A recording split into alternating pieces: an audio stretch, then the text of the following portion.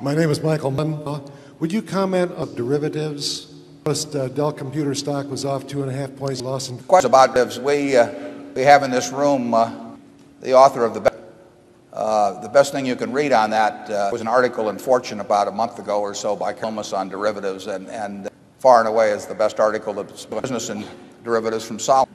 Uh, last year, I think someone asked what might be the big financial story, uh, and, and we said we obviously don't know, but that if we had to pick a topic, that it could well be derivatives because they, they lend themselves to the use of, of unusual amounts of, of leverage, and they are sometimes not completely understood by the people involved.